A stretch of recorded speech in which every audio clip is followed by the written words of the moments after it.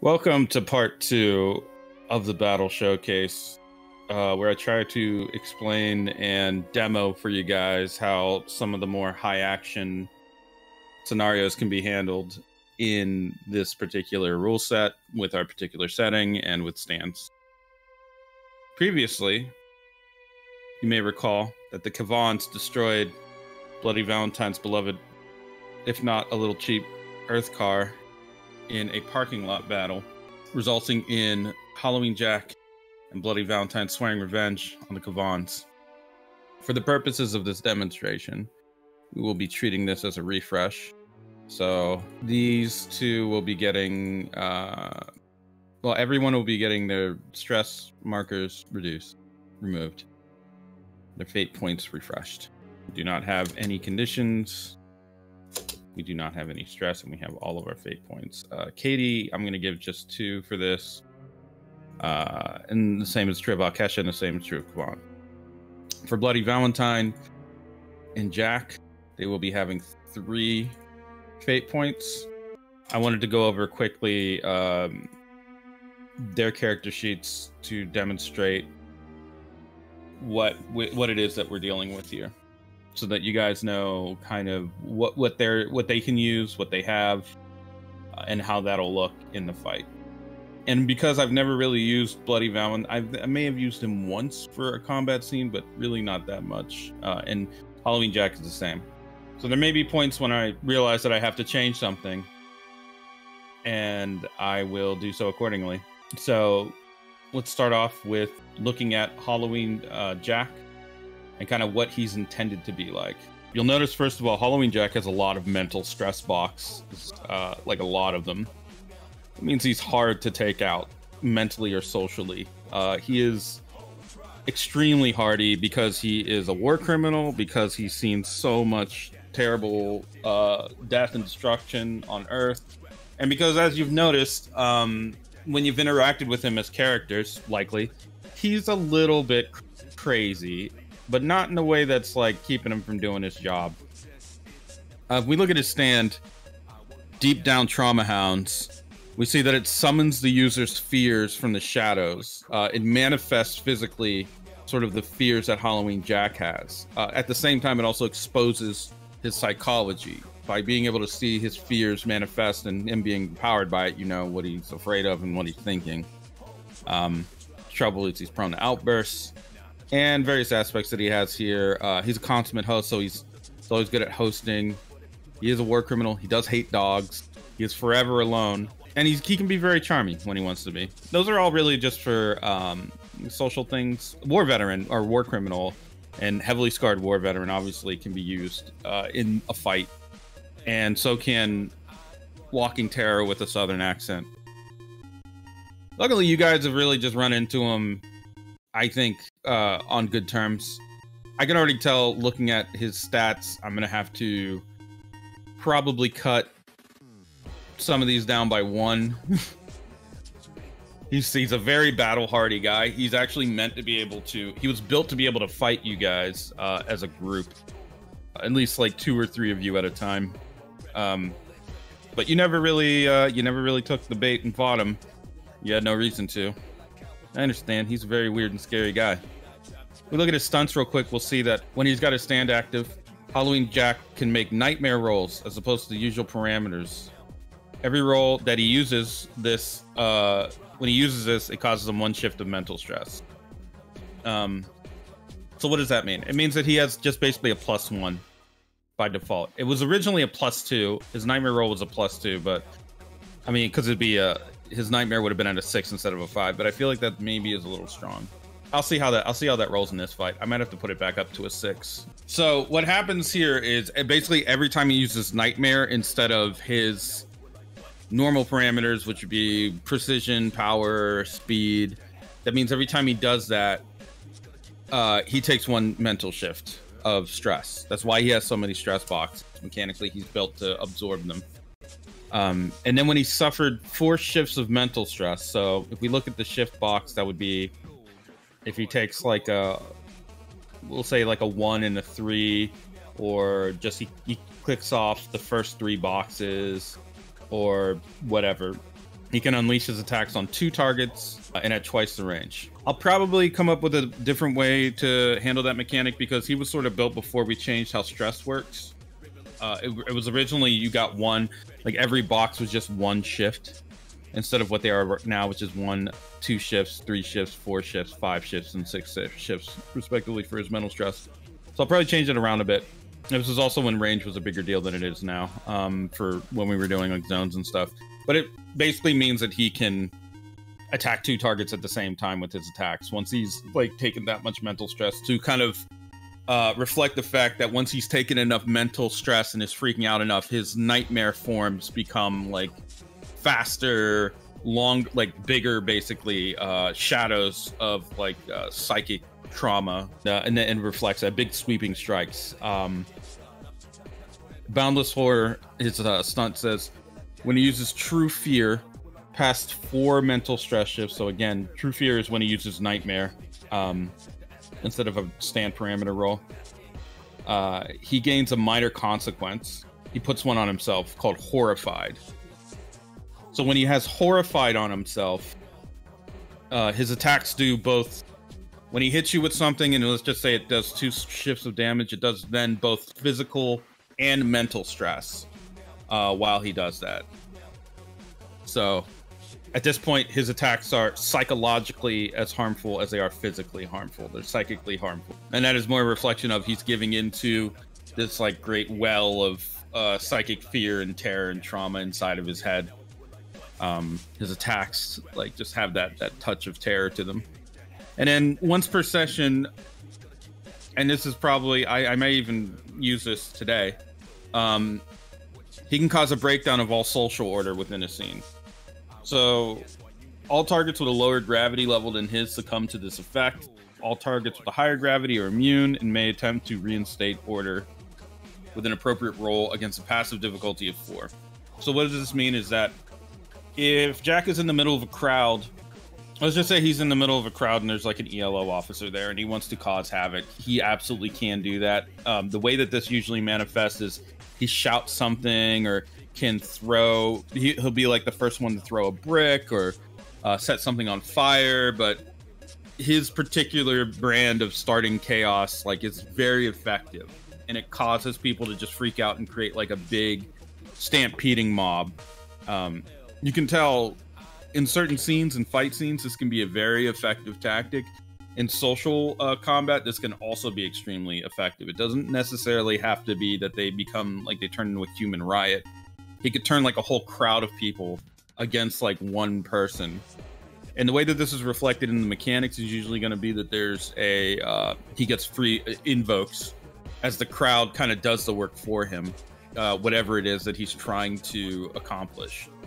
So for someone that's like a guerrilla fighter that's meant to go in and kind of overthrow entire nations or you know just kind of do help a coup or something like that that is what this is this is what jack does. He's like a very specialized in fear um anarchy you know and looking like he's the good guy or the guy with manners while he does all this. Like he is it's, it's kind of like his thing.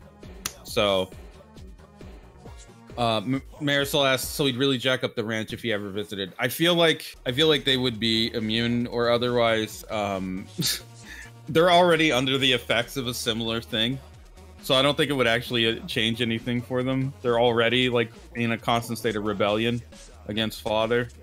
Um, if anything, to be impudent, uh, they may actually pretend that they are not rebelling and treat Lewis well until Jack leaves, and then they go back to beating up Lewis. You can't tell them what to do. so, with all that in mind, when we look at Jack's uh, sheet again, real quick, in the mental stress boxes, we can see that when he uses Nightmare a lot, he's going to max himself out on mental stress, and he is going to definitely. In a fight, a prolonged fight, if he wanted to burn himself out, he could absolutely turn himself into a gibbering mess of uh, mental consequences.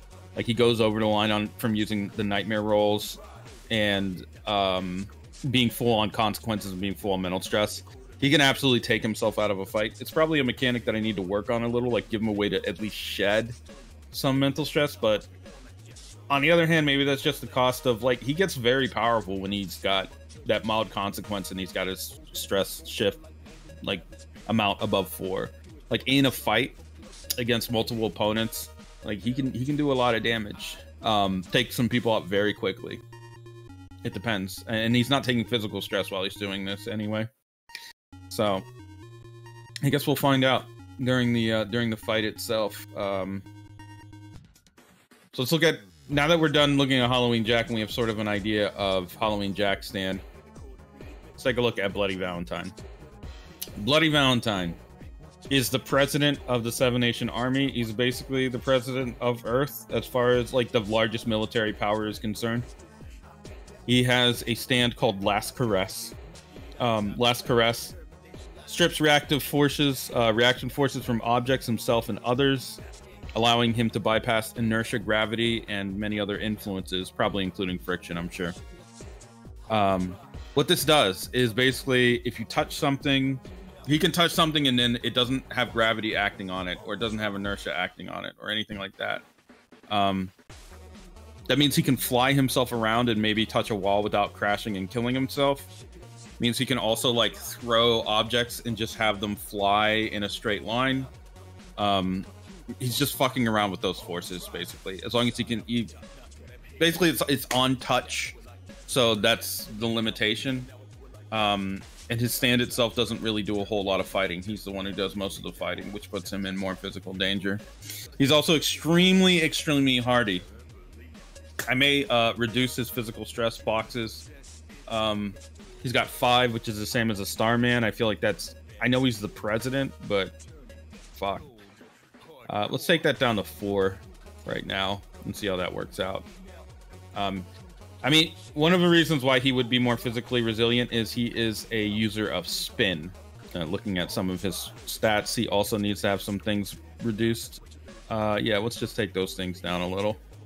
He had a, he had a stat at a seven. So a lot of these were made. A lot of these character sheets were kind of like made at a time when like the numbers were really inflated, and those numbers have like since come down. I've been working on it and making sure that things are a little bit more balanced. Um, but there will still be characters that have stats at six and seven. Some of that is like uh, maybe I can live with it. Some of it it's going to be a little bit much, like to have to have to actually balance out. Because really, when you think about a six or a seven, those numbers are, are big, obviously. But what those really are is like free stunts, you know, or like generally like way too applicable stunts that are like you know on every situation, and that's kind of busted at times. But when you're fighting a monster like Avicii, it's kind of makes sense in a lot of ways because he's big and you know, it's a matter of scale. Um, for Bloody Valentine, I think it's probably better to cut his uh, stats down so that five is the highest instead of seven. Just something I did right now when I was looking at it. Um, looking at his aspects real quick, also uh, you'll notice that he has he's insecure about his height. That is his trouble. Um, he's extremely strange. He's randomly violent and randomly reasonable. He's obsessed with obedience, and he is a devout believer in the Seven Nations. So he's a very strange man who uh, doesn't want to be called short and um, can randomly just, you know, start a fight or end a fight, um, much to the dismay of his opponents. If we look at his uh, stunts, first of all, he's a spin user. So his spin object of choice is a giant metal wheel, like a chakram. Um, it's huge. Uh, if anyone wonders why I gave him a giant metal chakram, it's because it represents the world. It's just a giant circle that he uses to absolutely bludgeon people to death um, and cut through them. Uh, yes, his spin is only at two, uh, Marisol points out. Yes, it is. Um, he relies more on his stand than on spin. Uh, his stand kind of is spin. Yes, Simone is a higher stand, a spin user, but Bloody Valentine's not like a. Um, the thing about um, I guess real quick to go into it, the thing about the martial arts in this setting and game in general, and you'll notice this when you read the PDF, is like I'm pretty sure Johnny Joestar only has either a one or a two in spin. And he is hands down the most powerful spin user in the in part seven, I believe. Um, he's not the most skilled or experienced at it, but when he uses spin in combination with the stand, he gets a very unique understanding of how spin works.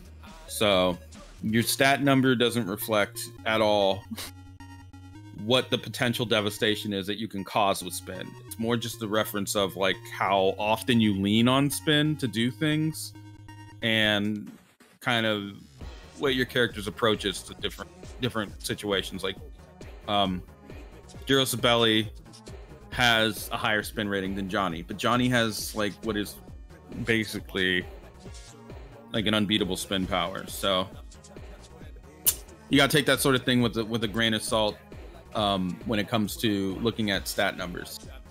And it's also a matter of balance that uh, he doesn't have spin at like you know four or five or something like that. It's a little ridiculous.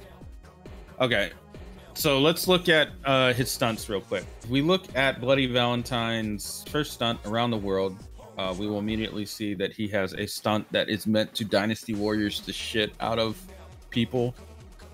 Uh, he has a stunt that can hit. Just do the math here. Okay, so we'll just read it. Uh, when he uses his war wheel to spin through as many targets as he can, rolling a spin. So he's he's rolling spin to do this. And when he's taking on, well, I wrote this a little weird. We'll read it out loud. Bloody Valentine uses his war wheel to spin through as many targets as he can, roll in a spin result in one round. So when he rolls spin three, that means he can target three opponents at the same time in one round with a spin attack It's pretty strong. Uh, if he were to roll, and it's just the roll, it's not not any invokes because otherwise he'd be able to just boost this to kill everybody. Yeah, you, you want a team of like nine people, I guess. So when the number is above ten, yeah, yeah, I'm gonna have to probably change this. Uh, it's not, it wouldn't be. I don't want it to be multiplied by ten because that's ridiculous. But that's how that would work. So you can see then if he was fighting more than ten people, yeah, you know what? I may I, I don't know. I might change it to five or six or something, but um, and then change the next one to ten. So if he's fighting, yeah, you know what? Let's change it real quick. Why not? Um, this is, I guess, a good insight on how I do stunts, um, or how I kind of adjust them.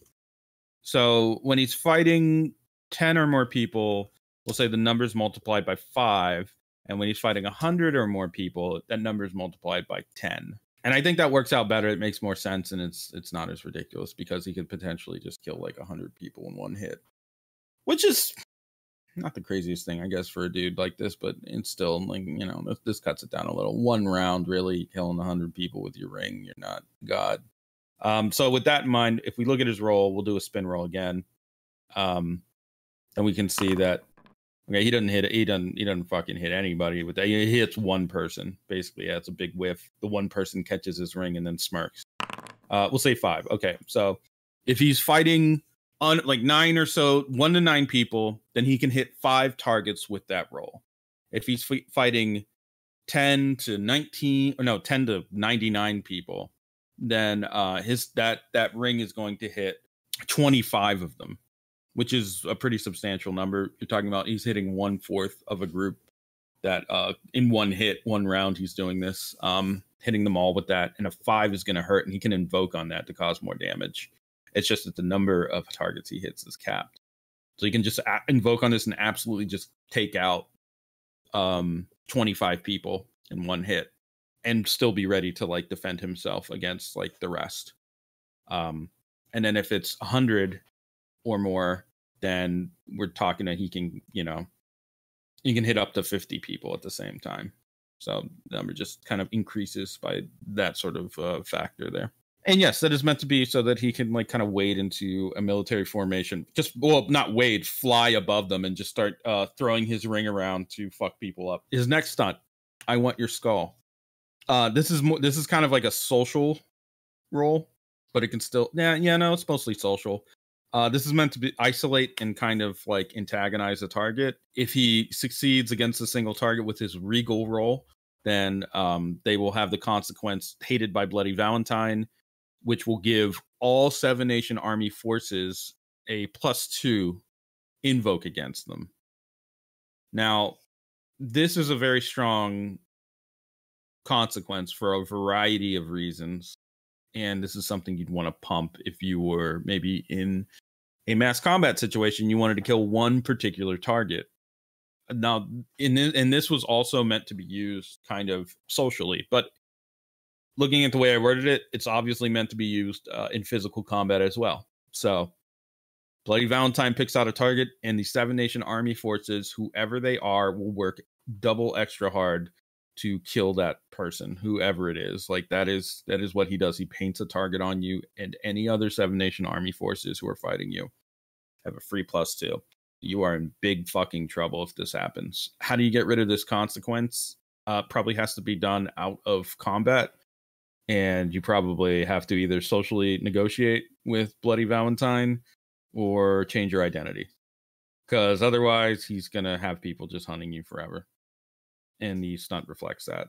His gravity feat is extremely dangerous, and the reason for that is he has to roll his reverie probably against a passive difficulty of a three or four, depending. It depends actually on how chaotic a scene is. It's a sliding difficulty scale.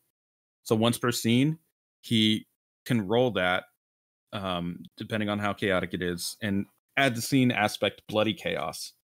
So while this is active, this bloody chaos scene aspect is active, all shifts caused by all forces are double. This is basically now things are going to become a violent bloodbath for both sides. And because he has the ability to hit multiple targets at once, this works in his favor for the most part.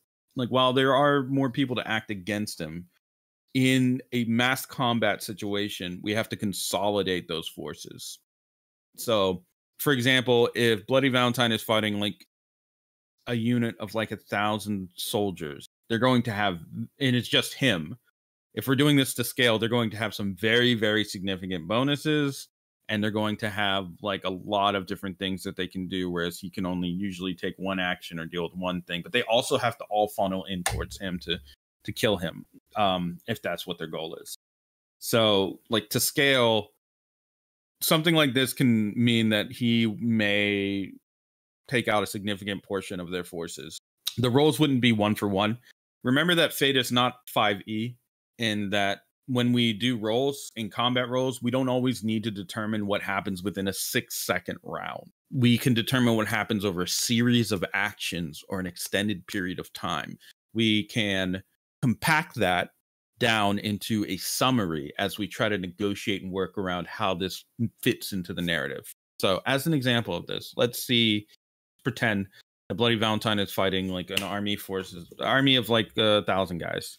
So they make the first roll to try to target and control him. We'll give them a plus seven for this, so it's a pretty significant uh, bonus. He then has to roll um, let's see uh we'll, we'll say spin against them if he wants to take out a significant portion. So he's got a four. He's going to invoke twice. Um no he's going to invoke three times. And so because of that he's going to do six uh with bloody chaos active six shifts of damage against them and probably cut down their for- fighting forces as um he is able to hit uh, 40 soldiers at once. We'll say he just like devastates the shit out of them and it causes all sorts of problems in their formations. I guess an army of a thousand, 40 people, not that big a deal, I guess, but depending on where they are, what happens, I mean, losing a chunk like that is pretty significant. The army probably likely has big a big sh- physical shift. I know you guys maybe remember from the Avicii fight the way that we were handling uh, combat and scale means that usually when we have like a unit uh, formation type of thing. They have a lot of physical shifts, sometimes as many as 10. We can go to, for example, uh, if Marisol wants to open. Oh, there they are. You're right under circles. Yeah, you'll see that they have an injuries um, injuries box. Not necessarily meant to uh, say that those are casualties, of course, because you know we don't always have to say that a million people are killed. Like Bloody Valentine doesn't have to kill like 40, 50 people or whatever with his attack. He can, I guess, but um, you know, these are injuries. So and and the way that we're handling this specifically is that that also means that like although Bloody Valentine only can only like take out or target 50, we'll say that he can only target take out 50, but he can probably injure enough of them on the side or just because of the the collapse of a formation that it actually causes more injuries uh, to the force. The point of the stunt really past uh what it does to like the single like like up to nine people. The point is really just to show that in a scene he can fight that many people like hit that many people with a ring it just bounces off them. Um but once you get past 10 100 etc those are really getting into like scaling issues. So um, I, mean I may change kind of like somehow how that works to be more reflective of how we approach scaling combat. Uh, but for right now, you can just assume that him against that army with that role means that he probably he, he did a devastating amount of damage to them. Uh, he if we're if we're taking the circles, the uh, stress that we the new stress system that we have. I mean, he's already clicked off there's six box. That's pretty big. They only have ten, so it, it would be a long drawn out engagement how would that be reflected in the actual narration is that we would then go through like a variety of different like like bloody valentine appears on the field somebody spots him first thing he does is bounces his ring off of the first guy and then it just starts to bounce down the line as it like begins to collapse this like chain of scouts that are all trying to radio in that the previous guy isn't responding or they hear something whistling in the woods or whatever the fuck. And by the time he's done he has like taken out a chain of like 40 different soldiers before they even know that he's there.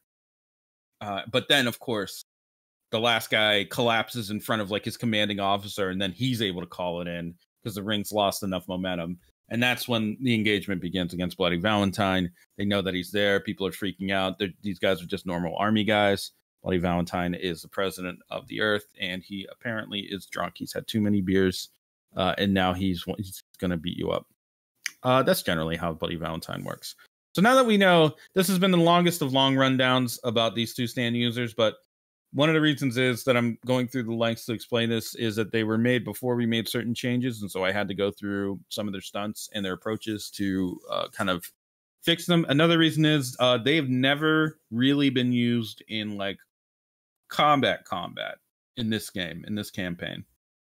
And there's going to be a lot of characters that are just going to be like that. I come up with an idea. They never get used really uh, in a combat because you guys are very anti, uh, you know, you're not murder hobos. You want to not get into a fight with the death, a fight to the death with uh, the president of the United States or his uh, diamond masked uh, war criminal best friend. That's fine. I understand that. Those are those. That's scary. Those are scary times. If this was um, like a more traditional tabletop RPG, uh, these two would be like the king and his fucking most trusted death knight or something. So you don't want to fight those guys most of the time. You don't you don't want to do it. Um I understand. But I also I did give him a stat block. I'm going to use it today. There we go. With this combat scenario set up, we have something that's going to we're going to we're going to be testing a few things. We're going to be testing scaling up in a fight and continuing to do so. We're also going to be testing some of the big mass combat coordination and uh, defense, offense kind of in maneuvering. We're going to assume, for the purposes of this demonstration, that Kev, Katie, and Alkesha are more like players. They're more like the players who are trying to. They're they're the they're the protagonist here. So we're looking at things narratively from their perspective, uh, mostly because I think most of the audience, whoever watches this, likes the moon and doesn't want it to be destroyed. I would think. Maybe you do. Maybe after all the things we've done in the game, you've decided these people are simply too silly to live. I understand that. But I'm going to default choose that they're the heroes. It's just a matter of narrative and kind of like what we're going for in the fight. What this means is there's going to be a little leeway. There's going to be a little more narrative uh, weight given to some of the things that they do, and there's going to be a few more opportunities for them to kind of like win the day or come up with some kind of bullshit shonen anime um, solution to a problem. The reason I do that is because if we were watching this as a show, then we would know that uh, if Bloody Valentine just steps on Katie's head and then like, you know, cuts everyone else's head off with his like ring and then walks away and goes home and eats a donut. I it's to be hard to continue that story. It's kind of done, right? I mean, he just killed everybody. So, we have to have a little bit of plot armor, a little bit of uh you know, sometimes Deus Ex Machina, though you obviously want to avoid both of those things when you can. Um, unfortunately, in kind of any kind of narrative thing, I think characters that are meant to be the perspective characters like kind of have those by default.